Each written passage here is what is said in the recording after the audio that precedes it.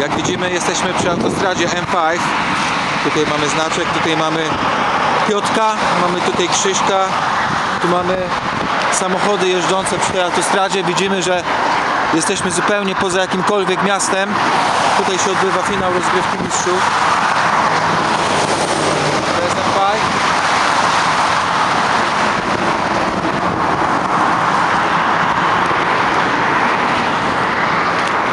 Jeszcze jeden rzut oka na znak tutaj, żeby wszystkim pokazać, że naprawdę jesteśmy przy M5.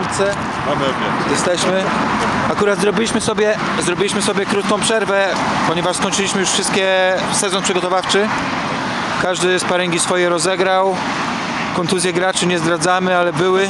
były. Niestety padło na mnie. Chyba najbardziej.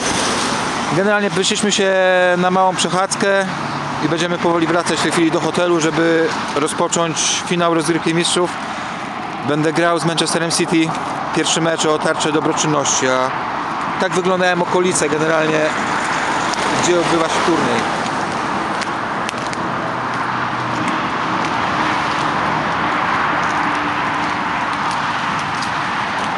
Jest to coś, coś na wzór zajazdu w Polsce, takiego Tak, to był zajazd przy autostradzie. taki zajazd przy autostradzie, gdzie jest właśnie gdzie jest właśnie nasz hotel, idziemy w kierunku teraz hotelu, mamy stację benzynową. Jedzie na nas jakiś tir, uwaga. Krzysiu, uważaj. Nie chcę mieć na sumieniu. Trzecie miejsce mam, nie chcę mieć drugiego. Cieszę. Idziemy tutaj.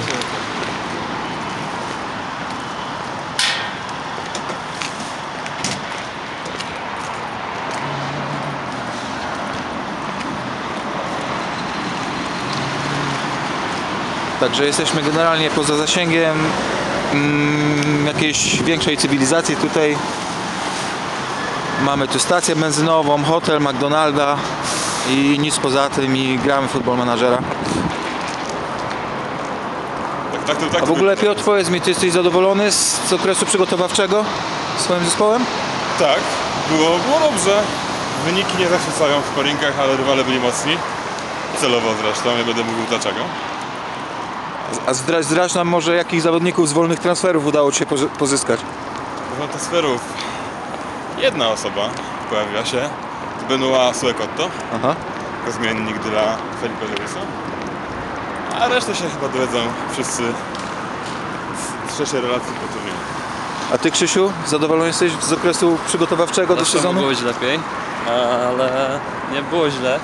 Kontuzji też nie było za dużo. Oprócz jednej, ale bolesnej. E, No i Czyli? Zdrać. dobra. Ja też w ogóle nie mam obrońców w tym momencie. Aha, tak. No i reprezentant Anglii, chyba Sterling, ale on To chyba dochodzi krótko, powoli do siebie. tak? Krótko, on już wraca do gry, więc nie źle. A, a, nowe twarze jakieś w zespole? No chyba najważniejsza to Kasano. Antonio Cassano zagra w Liverpoolu, sprowadzony z wolnego transferu. Dochodzimy do naszego hoteliku. Tak to generalnie wygląda, tutaj ta cała okolica.